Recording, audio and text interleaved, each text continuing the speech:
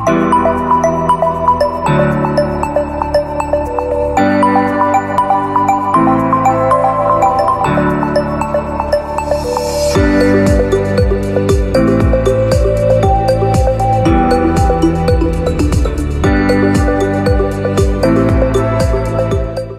عليكم ورحمة الله وبركاته.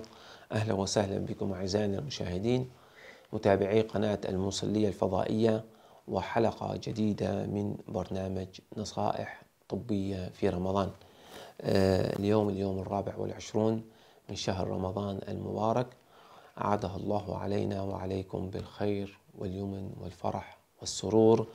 آه، والأمان ومدينتنا وبلدنا آه، بخير وفرح وأمان. ندعو من الله العلي القدير أن يحفظنا ويحفظكم ويحفظ الجميع. آه، موضوعنا آه، نصيحتنا لهذا اليوم نكررها إن شاء الله تكون مفيدة لمرضى السكري. إحنا نركز على مرضى السكر برمضان لأن نخاف عليهم يعني أثناء الصيام وحتى غير الصيام. آه، عندنا مرضى السكري اللي من النوع الأول اللي ياخذون جرعة أنسولين اللي ياخذ جرعة أنسولين واحدة يوميا ما نخاف عليه هذا. ممكن ياخذ الجرعة يعني بعد الفطور آه، يعني العفو قبل الفطور مباشرة مع ضرورة ضبط الجرعة مع الطبيب وقياس نسبة السكر دوريا. يعني الأفضل أنه هو ياخذ ياخذ الجرعة آه، قبل الفطور وياكل حتى يبدي مفعولة لا يرتفع السكر عنده ويقيس السكر. ضروري جدا أنه كل شخص عنده آه، سكر عنده جهاز قياس مع السكر.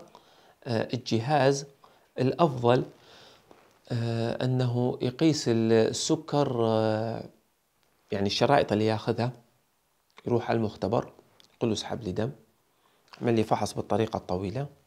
نفس الدم اللي تاخذه اعمل لي فحص بينه بالجهاز بالشرائط. أشوف الفرق بين المختبر اللي هو يكون أدق وبين الفحص اللي يطلع بالشرائط. الأفضل أنه يكون القياس يعني حتى النتيجة تعتبرها طبيعي أنه إحنا الوقت يكون من الستة إلى ثمان ساعات. ما نعبره إلى ثمان ساعات يكون أفضل حتى القياس يطلع أدق.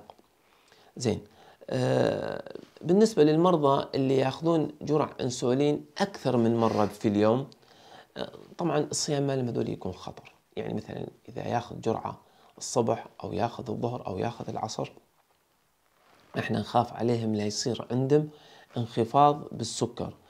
آه، إحنا ما نقول له يعني أفطر ولكن الأطباء يعني أجازوا لهم الإفطار للي ياخذ أكثر من جرعة باليوم إنه ممكن يصير عنده انخفاض بالسكر آه، شديد هو وعياخذ فهذا لازم ياكل آه، فممكن أنه يفطر لأنه الصوم راح يكون ممكن يكون يضره آه، هذول اللي ياخذون إنسولين عدة جرع يعني جرعتين أو ثلاثة أو شيك شاف السكر مالته مرتفع بال 12 الظهر أخذ جرعة إنسولين انخفض بعدها بساعتين هذا لازم يعني نعطيه سكر نعطيه سكر حتى لا يتأذى.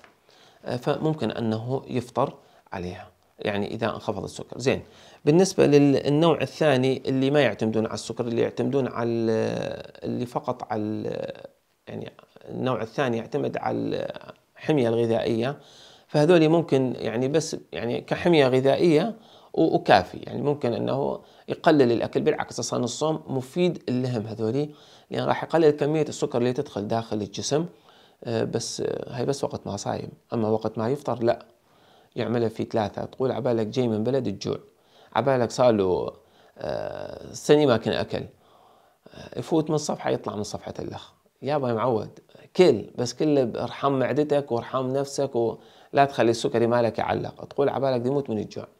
إحنا لازم نستغل فترة يعني فترة آه، الصوم حتى نقلل وزننا.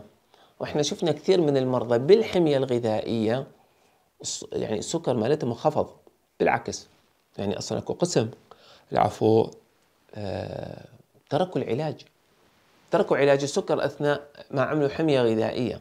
خصوصا اللي يأخذون آه يعني نوع أو نوعين آه وجرعة قليلة. الحمية الغذائية قلل من السكر اللي داخل عنده داخل الجسم. قلل يعني قلل من الأدوية. وأكو قسم موقف الأدوية.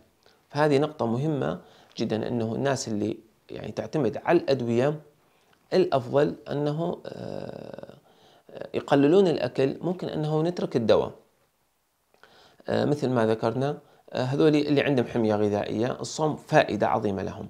بالنسبة لمرضى السكر من النوع الثاني الذين يتناولون قرصا واحدا يمكنهم الصيام شريطة توزيع كمية الطعام على الفطور. يعني ما نخليه ياكل على الفطور كثير. يعني يقسم الأكل مالته على الفطور وعلى السحور. ما ياكل على الفطور كثير وعلى السحور ما ياكل. نذكر أنه السحور مهم جدا. الرسول صلى الله عليه وسلم يقول تسحروا فإن في السحور بركة. يعني آه، ما آه، السحر بال 11 وإيش قد نأخر السحور؟ قد أحسن؟ لا يصير عنده انخفاض بالسكر. زين. آه مثل ما قلنا نوزع كمية الأكل على السحور والفطور. مرضى السكري من النوع الثاني اللي يتناولون آه نوعين أو آه دواء على وجبتين أو ثلاثة. هم يصوم ونقسم الجرعة آه، يعني على السحور وعلى الفطور تكون الجرعة مالتهم. آه، وإن شاء الله ما عليهم. مرضى السكر من النوع الثاني يتناول الحبوب ثلاث مرات يوميا عليهم تناول جرعة الصباح والظهر أثناء الإفطار. يعني اللي عندهم ثلاث مرات ياخذ جرعة السحور الصبح والظهر ياخذها على الفطور وجرعة الليل يعملها على السحور. آه، يتناولها مع السحور. يجب على هؤلاء المرضى مراجعة الطبيب قبل البدء بالصيام أو في حال حدوث أي مشاكل إحنا الأفضل أنه نراجع طبيب. آه وعلى كيفكم بالأكل. آه الله يحفظكم ويحرسكم. آه تقبل الله منا ومنكم صالح الأعمال. صيام مقبول وإفطار شهي. لا تنسونا من صالح دعائكم لنا ولوالدينا وللجميع. والسلام عليكم ورحمة الله وبركاته.